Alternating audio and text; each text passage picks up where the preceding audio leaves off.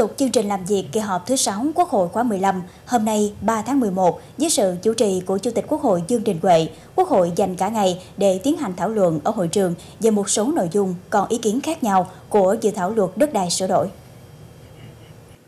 Phát biểu ý kiến về dự án luật đất đai sửa đổi tại hội trường, đa số đại biểu bày tỏ sự tán thành với hồ sơ dự thảo luật, đồng thời nhấn mạnh đây là dự án luật khó, phạm vi ảnh hưởng rộng lớn, có tác động đến mọi tầng lớp nhân dân. Dự thảo luật đã bao gồm nhiều chính sách mới. Các chính sách mới này đã được cụ thể hóa theo hướng quan tâm, chăm lo hơn đến đời sống nhân dân, để nhân dân chính là người được thụ hưởng. Song, nhiều chính sách quan trọng vẫn chưa có phương án tối ưu, trong đó có hai nội dung còn trình 3 phương án, 14 nội dung trình hai phương án. Tham gia ý kiến đóng góp dự thảo luật đất đai sửa đổi tại hội trường, Phó trưởng đoàn đại biểu Quốc hội tỉnh An Giang Trình Lâm Sinh tán thành cao đối với việc sửa đổi dự thảo luật. Tuy nhiên, đại biểu đề nghị ban soạn thảo xem xét bổ sung một số vấn đề về giải thích từ ngữ. Để góp phần hoàn thiện dự thảo luật, tôi xin góp ý một số nội dung cụ thể như sau. Tại điều 3, giải thích từ ngữ. Dự thảo luật đã cơ bản giải thích đầy đủ các cái thuật ngữ chuyên ngành. Tuy nhiên, thì ờ, tôi cũng đề nghị bổ sung ờ, giải thích thêm cụm từ là đất công. Và thứ hai là cụm từ cá nhân không trực tiếp sản xuất nông nghiệp. Bởi vì tại khoản 7 của điều này thì có giải thích cụm từ cá nhân trực tiếp sản xuất nông nghiệp là cá nhân có thu nhập từ sản xuất nông nghiệp. Nếu chúng ta hiểu ngược lại thì cá nhân không trực tiếp sản xuất nông nghiệp là cá nhân không có thu nhập từ sản xuất nông nghiệp. Điều này là chưa phù hợp. Bởi trong thực tế có khá nhiều cá nhân không trực tiếp sản xuất nông nghiệp nhưng vẫn có thu nhập từ sản xuất nông nghiệp. Thu nhập đó là do họ cho thuê đất hoặc là thuê người khác để sản xuất nông nghiệp. À, còn bản thân họ thì làm việc khác không liên quan đến sản xuất nông nghiệp.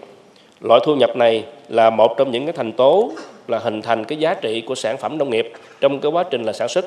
Do đó theo tôi thì cái loại thu nhập này là loại thu nhập từ sản xuất nông nghiệp.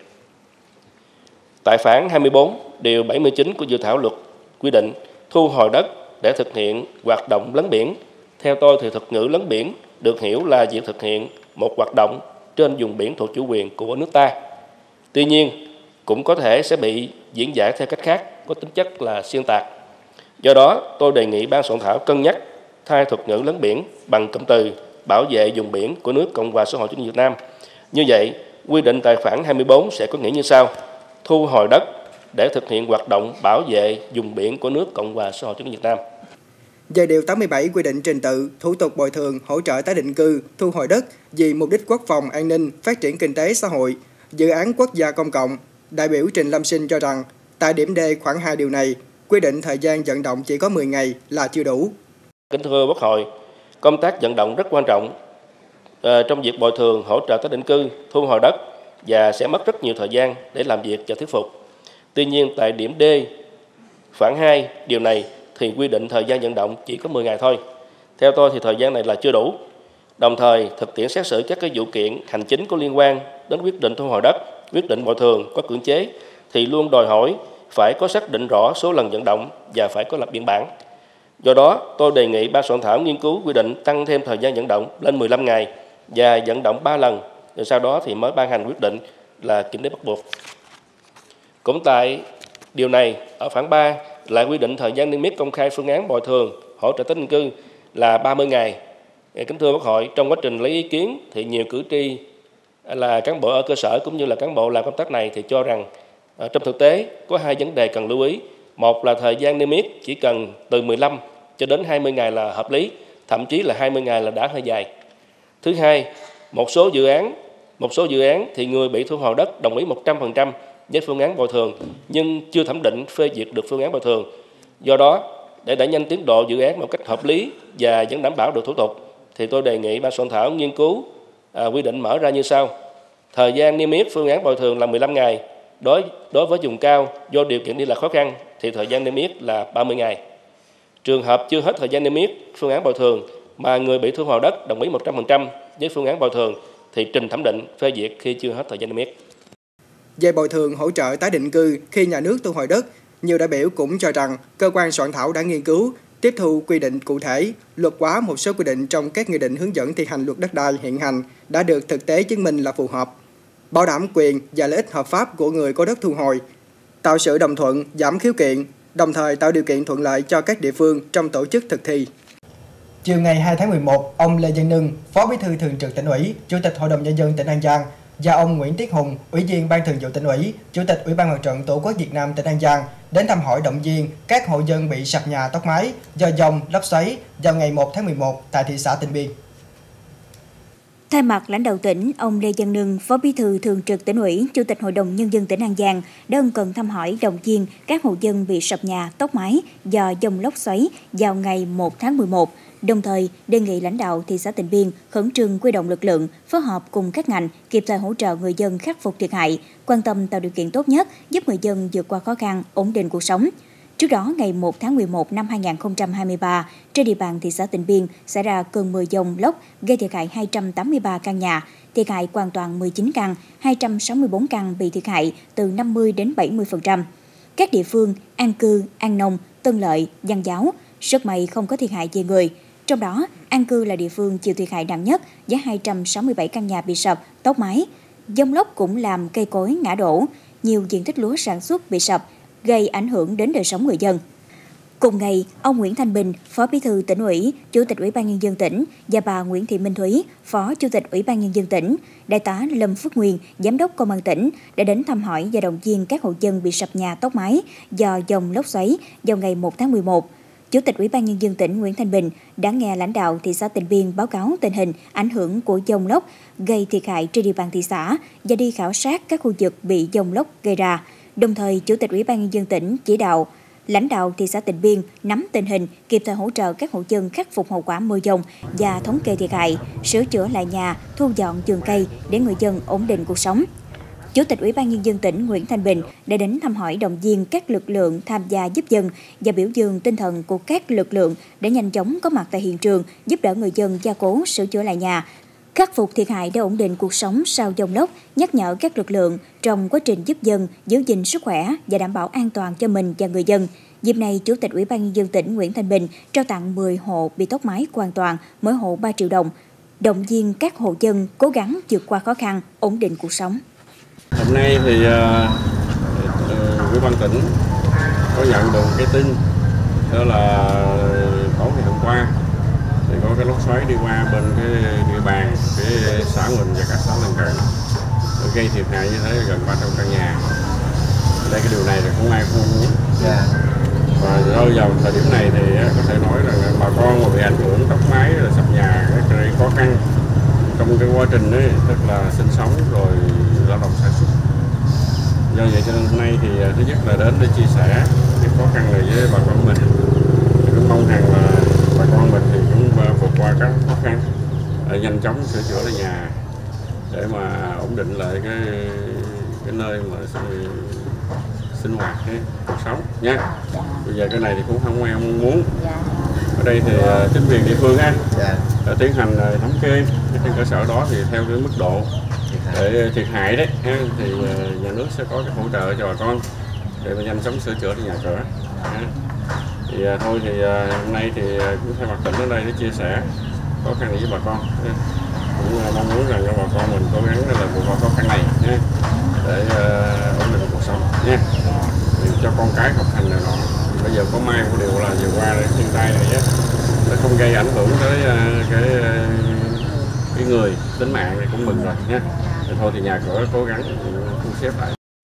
Đoàn công tác của Thường trực huyện ủy Phú Tân đến thăm và trao tiền hỗ trợ cho các hộ dân bị ảnh hưởng do dòng lốc trên địa bàn huyện. Tại mỗi nơi đến, lãnh đạo đoàn công tác của Thường trực huyện ủy Phú Tân và Ủy ban Mặt trận Tổ quốc Việt Nam huyện Phú Tân đã ân cần thăm hỏi, động viên các hộ dân bị sập nhà, tốc mái do dòng lốc, đồng thời trao tiền hỗ trợ cho 11 hộ có nhà bị ảnh hưởng từ 70 đến 100% là 5 triệu đồng. 55 hộ bị ảnh hưởng từ 70% trở lên 3 triệu đồng toàn bộ kinh phí do Ban Cứu trợ tỉnh An Giang hỗ trợ. Trước đó, vào lúc 18 giờ ngày 31 tháng 10, một cơn mưa lớn kèm theo dông, gió lốc xảy ra trên địa bàn huyện Phú Tân đã làm sập và tốc mái 104 căn nhà trên địa bàn các xã Phú Xuân, Phú Thạnh, Phú Thành, Phú Long, Long Hòa và thị trấn Chợ Giàm. Trong đó, xã Phú Thạnh là nơi chịu ảnh hưởng nặng nhất với 69 căn nhà, 10 căn bị sập hoàn toàn, 44 căn tốc mái siêu dẹo, thiệt hại trên 70%, còn lại tốc mái siêu dẹo thiệt hại từ 30 đến 50%, ước tổng thiệt hại trên 1 tỷ 300 triệu đồng.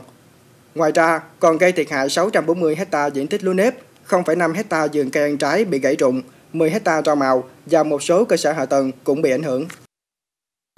Xin chuyển sang những thông tin quan trọng khác. Thưa quý vị, sáng nay, ông Lê Văn Phước, Phó Chủ tịch Ủy ban Nhân dân tỉnh An Giang, chủ trì buổi làm việc với các sở ngành tỉnh về tiến độ triển khai thực hiện chương trình mục tiêu quốc gia giảm nghèo bền vững tỉnh An Giang giai đoạn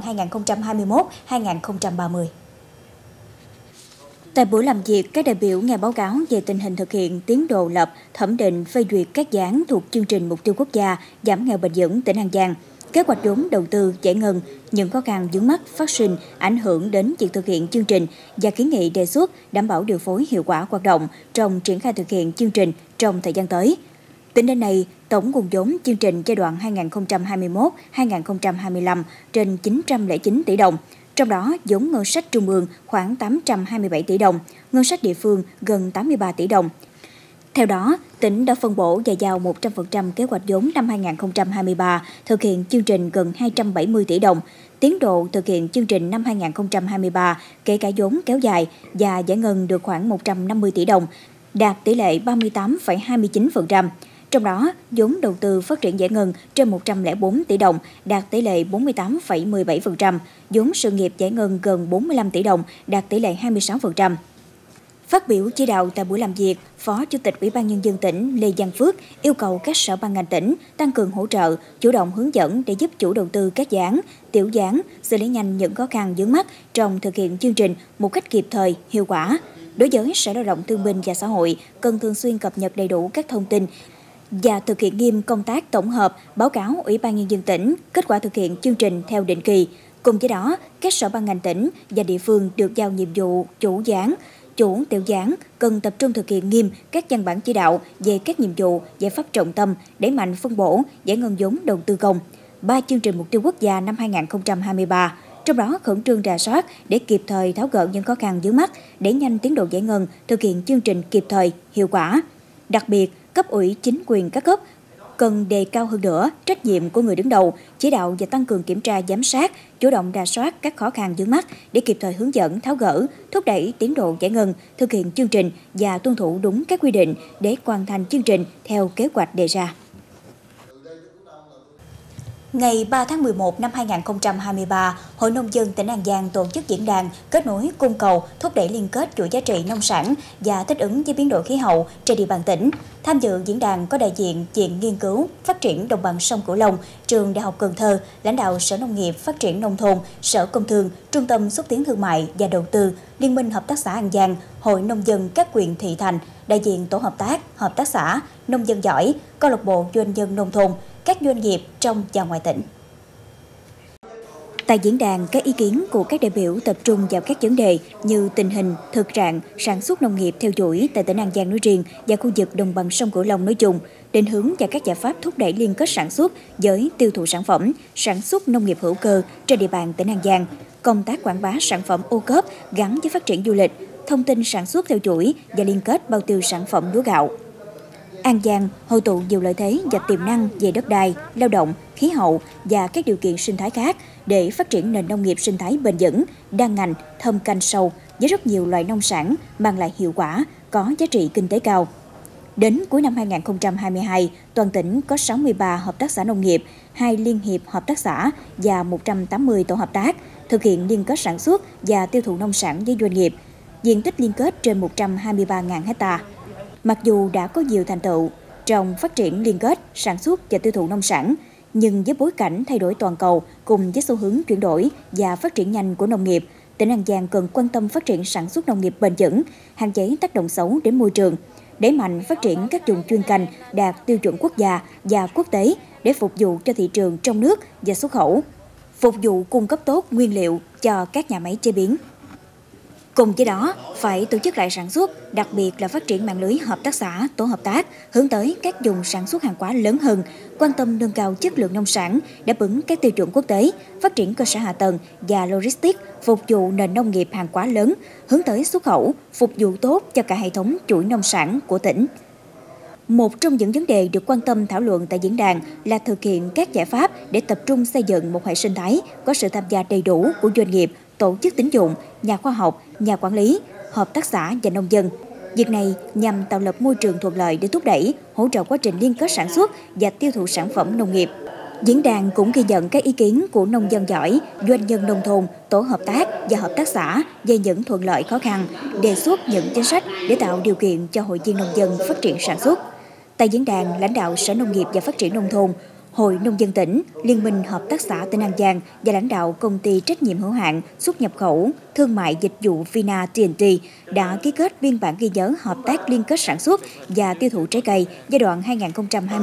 2024-2030 trên địa bàn tỉnh An Giang.